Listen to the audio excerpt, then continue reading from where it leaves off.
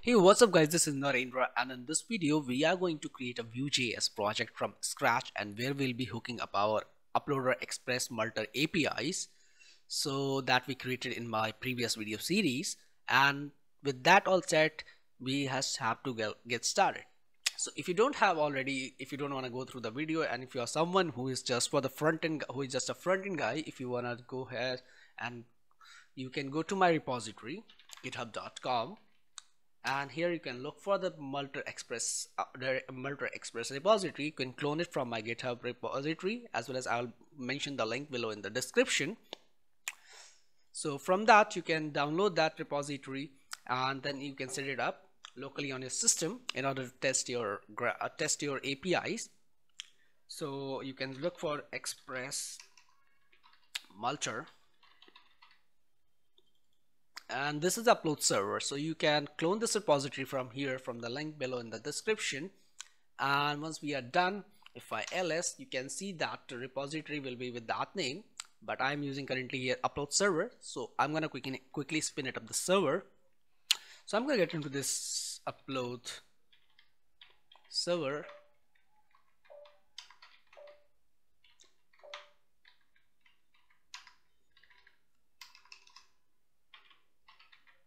and if I ls these are the package content. You don't have to worry about that anything else here.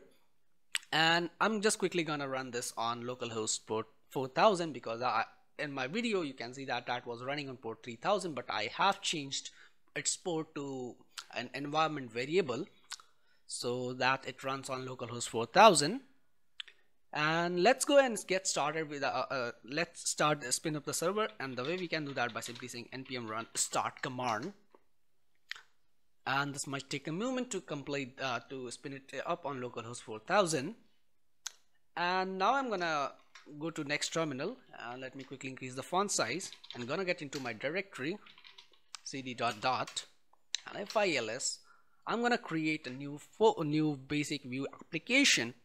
So the boilerplate of an application that we can create using Vue.js uh, using Vue CLI tool. And that CLI tool has to be installed globally on your system. So if you haven't already installed then you can simply run that npm i-c at the rate vue CLI uh, CLI actually. And if you are using Mac and Linux then you have to use this command with sudo in the beginning. But I have already installed it so I am not gonna do that and more prerequisite for this application that you should be having node.js installed on your system. So I can check that node dash dash version.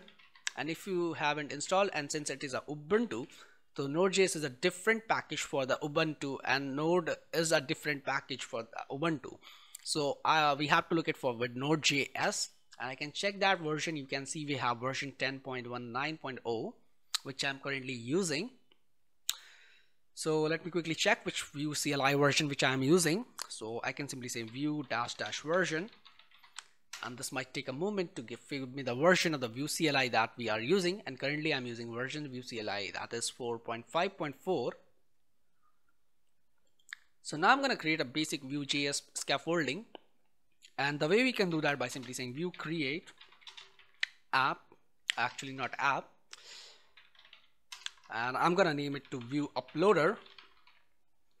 And this will take you through the wizard. So I'm gonna give you the basic settings.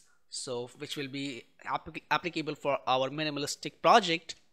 And we are not going to use any kind of fancy stuff like st state management using Vuex or even the Vuex router. So let me go and check quick quickly check. So I'm gonna manually select the features one by one Babel is fine PWA support I don't want router is also not required for this video. Uh, Vuex that's fine I don't want to get into that but says I do want to I do want to have that in my application and I'm gonna press enter. So you can choose according to the version but currently I'm gonna go with 2.x because I have to set a bootstrap for a boot using Vue bootstrap components so that would uh, and that's not working on 3.x I don't know what's the reason behind that. And if anyone knows how to set it up Vue uh, bootstrap Vue on Vue.js with version 3.x just let me know in the comments. And now with the SASS I'm gonna go with the node SASS and that's basically it with that I guess. With the error preventions only and lint on save in package.json that's file I'm not gonna save this preset uh, for the future reference so I'm gonna type no. And this might take a moment and once it will be done uh, creating our basic project scaffolding I'm gonna quickly pause my video. We'll be right back and jump into the code. So now with that all set we have our basic Vue scaffolding created. And if I ls here you can see that Vue uploader directory has been also created in my uploader projects directory and it is asking to get into that directory and to server start a local development server we have to run this command called npm run serve. So I'm gonna quickly get into that folder view basic uploading and if I ls these are the basic uh, our project uh, setting so I'm gonna open up with a Visual Studio Code and also spin it up on a development environment. So I'm simply gonna say npm run serve. And this might take a moment to open my Visual Studio Code. And also started uh, running this on a local development server. So first of all it is compiling my all assets and all the project whatever we have received uh, from the beginning. And you can see it is running on localhost 8080 so I'm gonna quickly navigate to this one. And you can see this is a where we have our basic scaffolding of a Vue application.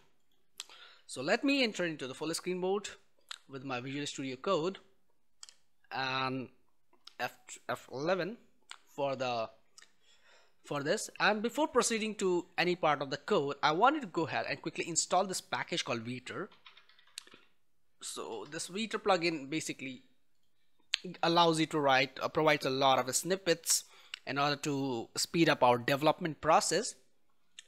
So I wanted to go ahead and install this plugin by Pine Wu. This one is a standard plugin for Vue.js and this also gives a lot of things like a compilation and a lot of things like it can lint your code very properly according to Vue standards. So that shouldn't worry at all. And let me take you through the project structure. So what's happening behind the scene is basically uh, in my public directory we have an index.html file. So that is index our index our index.html file and there has we have a div with the id of app. And that app uh, that id of app element has been extracted over here. And within that we'll render our whole components all other bunch of stuff within that state. So that's why it, it, it is single single page application so on the under the hood we have just only one single html file and then our javascript will compile our view, co Vue code and will put uh, inject within this div element. So that's basically happening under the hood. Uh, so let me quickly save that. And from the title I want to remove this thing and instead that of that I'm gonna say Vue uploader. So now it's time to set up with a bootstrap. And bootstrap for installing bootstrap I'm using integrated terminal and I'm gonna install npm install. First of all we need a bootstrap as a standard library which will provide a basic stylings and lot of stuff. And then also I want to install bootstrap Vue. So this will give a bootstrap based Vue components so that we no longer need jQuery in our Vue projects. And also I want to install Axios for API calls and I think that with that all set we are good to go. And this might take a moment. And before it is done let me quickly do some scaffolding of that. So I'm gonna go in my source directory. I'm gonna create a new folder called assets. Actually we have or we already have the assets. And within my assets directory I'm gonna create a new folder called scss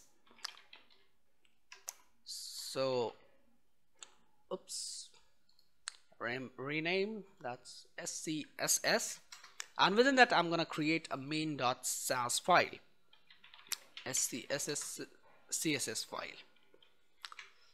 And I'm gonna import the bootstrap here.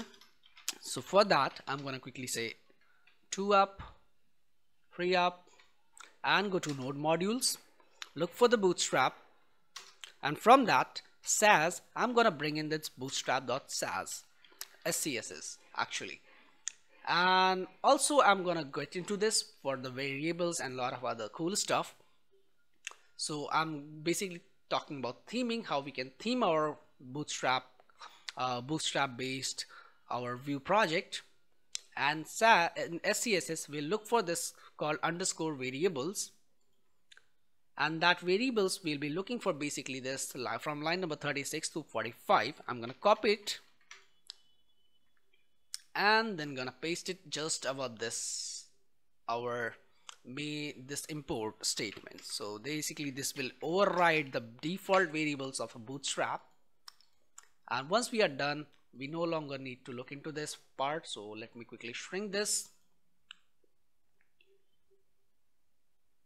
Sass bootstrap and that's it and now we need to import this bootstrap uh, this main.sass file in our main app component where we are extracting our so this is gonna firstly I'm gonna import it from my same directory in my assets. Then I'll go for the CSS, SCSS and from that I'm looking for main.scss file. And as I save it and go to my code you'll find a lot of bootstrap bootstrap font and all those stuff has been put in over here so it's looking fine and nice.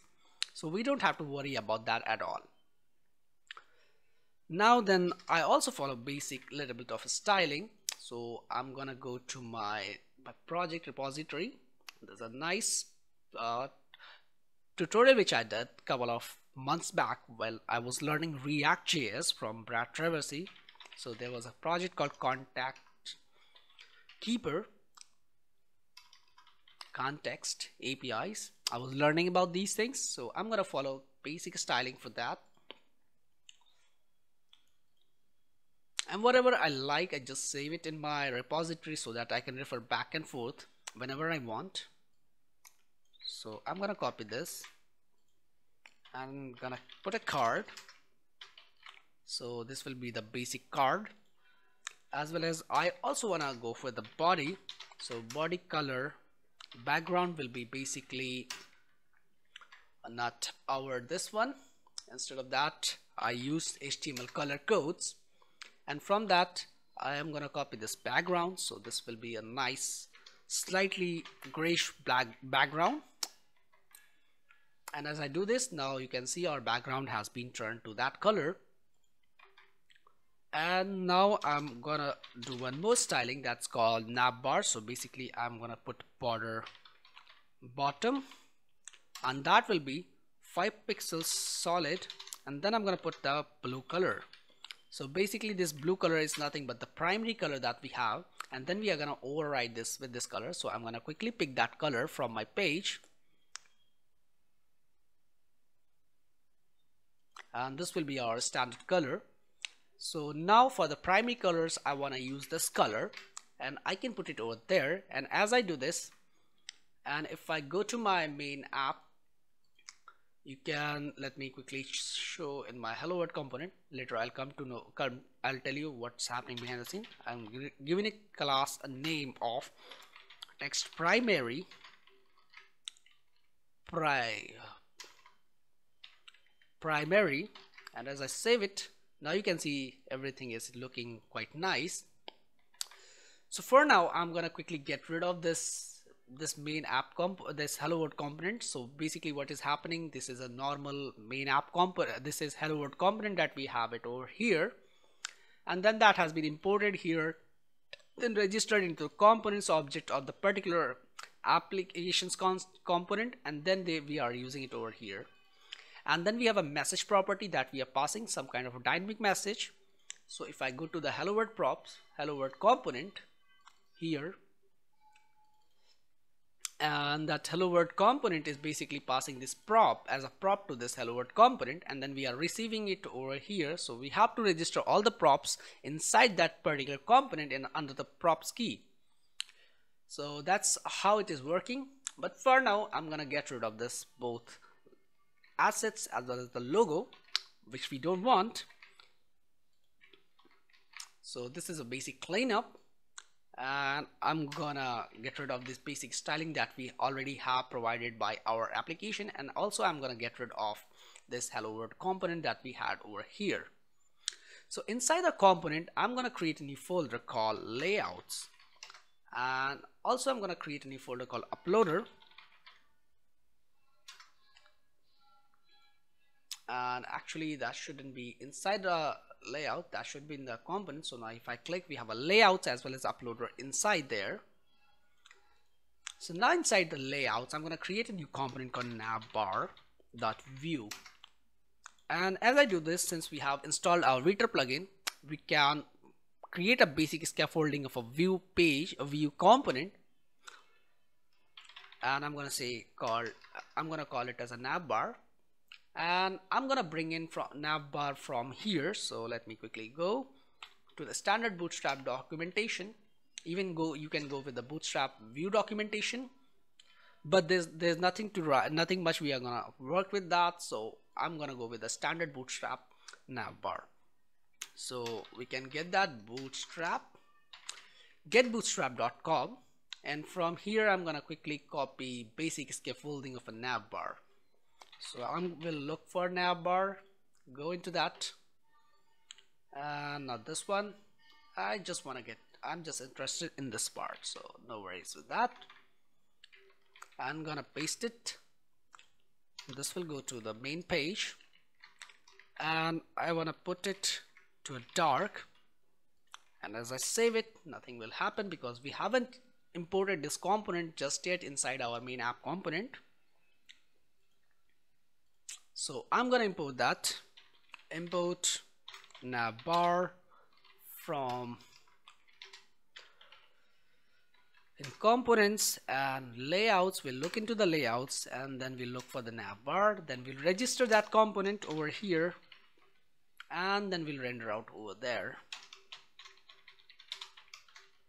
And as I save it you will see a nice navbar rendering over here and that's not picking up our styling that we have created in our main.sas file. So border bottom 2 pixels solid. And we have to override that property by simply saying important. And as I do this now we will be having nice navbar I don't know why it's not working. So let me quickly check that real quick.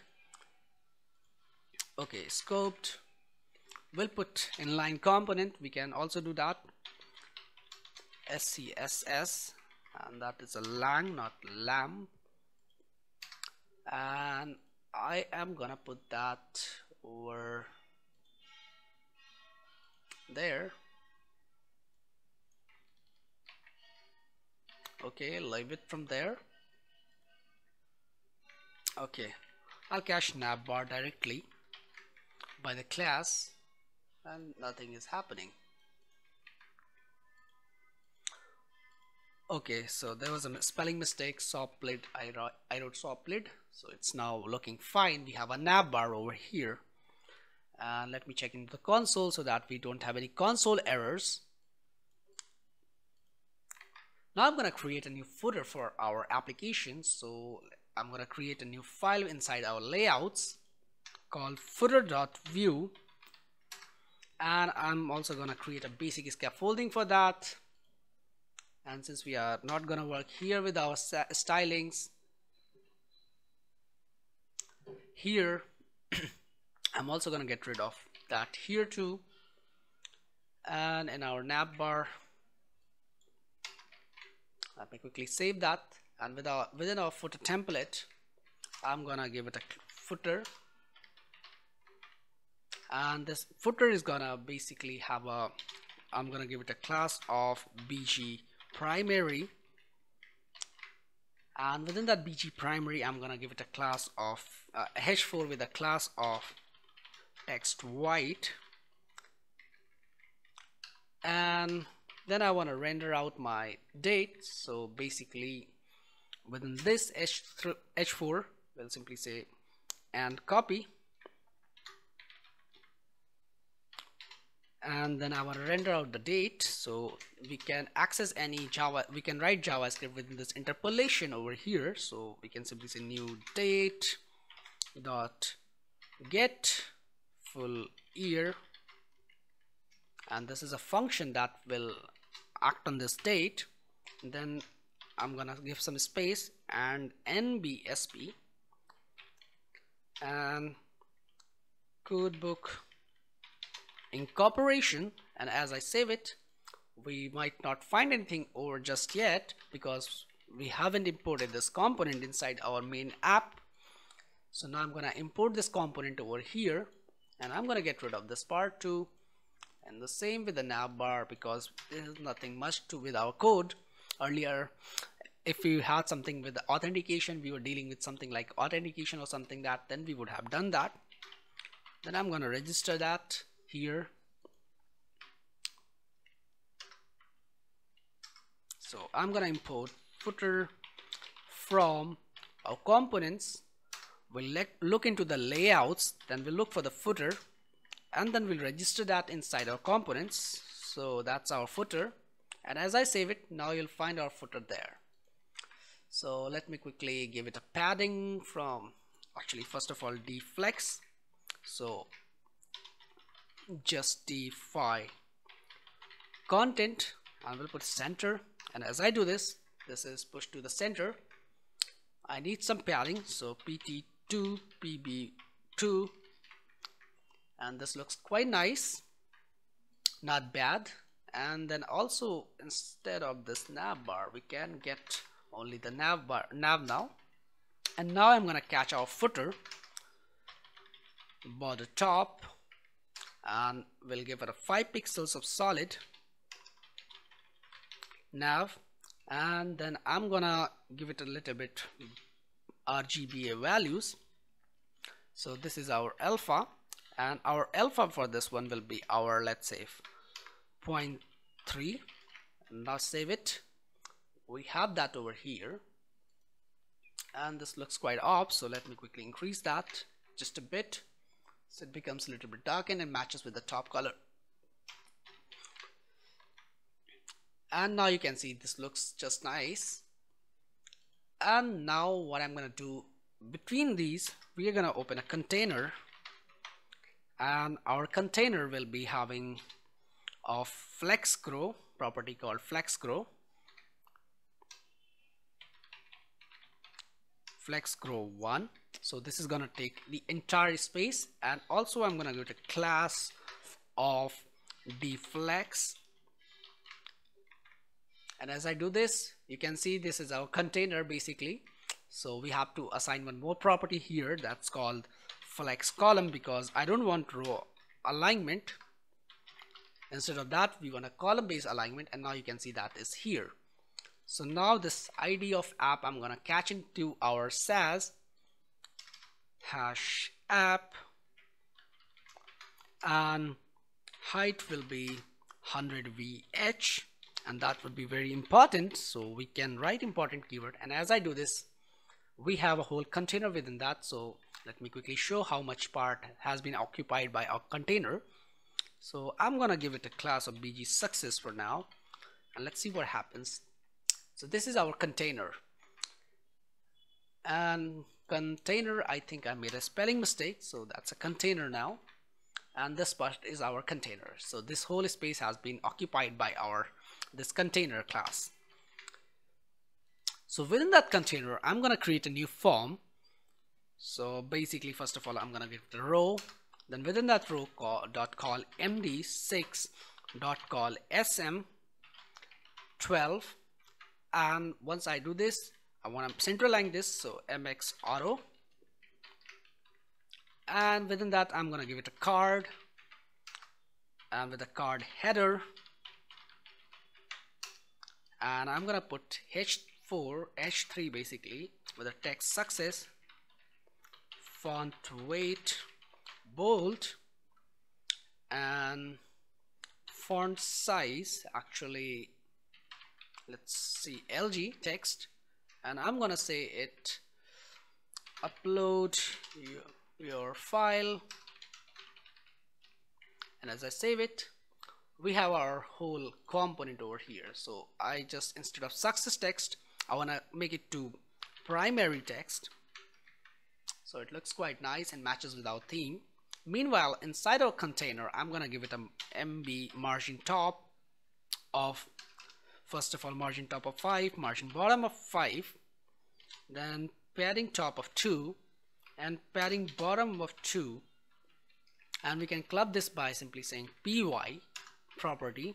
So this will give the padding from the top and bottom on the x-axis and now we have our uploader here. Uploader file card over here. So once we are done with that now I'm gonna put a card body and this is our body. And inside that I'm gonna give it a form without any action so far. And that's basically it about for now. With our app.vue file let me quickly close this footer component as well as the navbar component. And later if we come across anything else we'll look here. So let me quickly go and go to my this uploader fo folder which we have created earlier in the video in the components directory I'm going to create a new file called single uploader.vue and I'm going to give a basic scaffolding of Vue.js uh, component that I'm going to give it a class of single uploader. And this will be of a form control also a form group basically and within that form group I want to put uh, give it a class uh, label. And with a class of font size sm font weight bold and text primary. And upload single file. And as I save it nothing will show up over here just yet because we haven't brought in that component. So I'm gonna import that component from there. Single uploader from our components directory. And then we will look into the uploader. Then we'll bring in our single uploader. And now we have to register that component. Just we have brought in from there single uploader. And within that are form tags that we have opened just now and I think I made it just a mistake. Uh, actually no that was correct. And I'll put my single uploader just a minute single uploader over here. And as I save this no errors no letting error is showing on nothing is squiggly lines and you can see our single uploader file is here. But now I want to make it something like I don't want to use this text all the time maybe sometimes in the form it might have some other heading.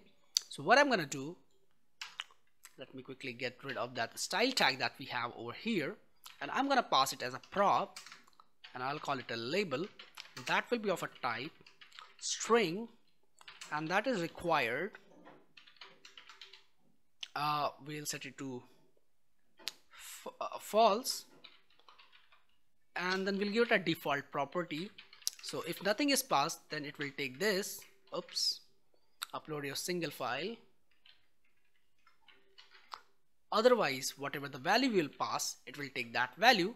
And now we'll render that inside the template. So we can do that by within our interpolation or double mustaches brackets. And I'm gonna copy this label put it over there. If I do this we may find we may find no nothing has been changed yet. But now if in our app.js if I provide a label property upload file here. If I save that now we have this property. And if I put dot dot dot now you can see we have dot dot dot but if I do not pass anything then it will it's gonna take the default value that we have already passed from there. Save it. It's gonna take that default default value. But for now that's fine for us. We are just taking some value from our front end from the our component from the parent component. So now it's time to go ahead and start creating our basic uh, input which will handle our file upload so I'm gonna give a class basically a form actually form control and that will be of input. And as I save it you can see we have our input. If I save it we have our input there but we don't want our this input to be a text. Instead of that we want a handle files over here and as I save it now we have this standard file uploader over here. And now we'll style it just a bit. So we'll simply say upload input. And I'm gonna copy this upload input. And whatever we have inside our dot single since we are using Sass so it will look for this single this thing over here. And within that if we have something like this upload input I'm gonna give it a height of 100 pixels and a width of also 100 pixels. And both are very important. And as I save it now you can see this uploader is over here. And if I click anywhere it will just ready to accept our file and then we can simply do a lot of stuff. But before that I'm gonna create an uploader mask. So I will simply say uploader mask. And that will be of a d-flex. So basically I have learned flex boxes that make my life so simpler. Justify content. And we'll center align items center so whatever is inside that uploader mask that should be centered aligned. And I want to put an image inside that. So let me quickly go and download our image. So I use flat icons. You can use whatever image. You can even use SVGs let me quickly log in into that thing.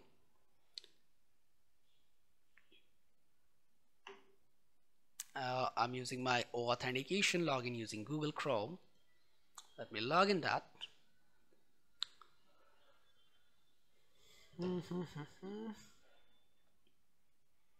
and once we are done with our login we can simply look for file uploader. File upload. And I'll look for this image called outbox. So that's over here that we have. I'm gonna edit this here. I'm gonna change that color. So I'm gonna copy this color that we already have selected over here gonna paste it. This is our color. I'm gonna download that. In PNG format you can get SVGs also with 128 pixel that we have. And in my projects oops. In my home we have a projects directory. And within that projects upload a project. Then we have a Vue, uh, Vue uploader. And I'm gonna put that in src components and layouts you can put it over there. But for now I'm gonna put it in my assets. And I'm gonna save it over here. That's fine for us. That will work just fine for us. So once I do this now we can put our asset there. So I'm gonna go to class image src and also give it a class of loader icon. So later we can pull it that from there and to access this assets I will simply say assets in our source directory. And this is an alias for our source directory so it will automatically look for the source directory within the source root of the application. And I'm gonna use outbox.png that image that we have just brought in. And now you can see we have our image over here. And this is center align meanwhile I'm gonna copy this upload a mask property and gonna grab that. Oops control V by class and also gonna give it a height and width of this part. And that's important. We'll also give a border border radius of 5 pixels. Border will be 2 pixel dashed and that will be our first of all this will be important. Dashed and let's say for now hash ec see that we have. And as I do this now we can see this uploader mask is there. And also gonna resize this image so I'm also gonna give it a class of fluid img fluid. And this is basically responsive class for bootstrap from bootstrap. I'm gonna copy this save it over there and within that uploader mask we have this icon and I'll give it a height and width. So basically I can give height and it will rest of the work will be done by bootstrap so let me make it 30 pixels or 35 pixels. Let's see how it looks. And this looks quite nice and fancy. And also this width uh, to this uploader mask I wanna give it a border radius so that everything aligns perfectly and now we have to, to give two properties. So basically I'm gonna say position and that will be absolute to our file icon that we have upload input. And as I do this this has overlapped our this part. So I'm gonna give it an opacity of 0 and as I do this now you can see this looks quite nice. And if I click anywhere on this we'll get that file uploading now with all that set it's time to go ahead and start looking our events. So basically I'm gonna use ref. So what is ref? We'll look here. And let's say upload input. And we are also gonna give a look for a change. So in vue.js we can look for the event here. Handle change. And this method I'm gonna actually this will be change. And I'm gonna catch that event okay? So I'm gonna catch that event. And within our scripts there's a methods of our component. So I'm gonna register my method over here. And this will take an event which will get or instead of that event also if you want to pass any event you can pass it like this like this. But since we are using ref we'll look for this ref. And let's let me quickly see console what we get inside our ref. So to access ref within the vue.js we have to simply say this dot dollar refs. And if I save it this will give me the list of references that has been stored over in that component so if I click one of them you can see that we have upload input which is a type of input. And this is giving basically a list. So I'll look for my reference that was upload input which we named over here. And paste it. And let's see what happens now. If I click one now you can see we are getting whole input. So from that we are looking for files. And if I save it and now if I click and create we are getting a file list. So that has one file and this is a list of files. So we are interested in the 0th index because we are handling single file over here. Now if I click we are getting that file. And now we have to upload that file to the server using our services. So that's basically it about this video. In the next video we'll start looking into how we can integrate our uh, services API services as well as the up progress uploader progress indicator. So let's get catch up in the next video and we'll start working in that. This video was quite a long just because we started setting up a bootstrap as well as a bootstrap Vue. And also we created and we understood how the project structure is there for the Vue application for the beginners so in the next video we'll start looking into this. Apis constants and a lot of other cool stuff. So let's get started in the next video. Catch up. Thank you guys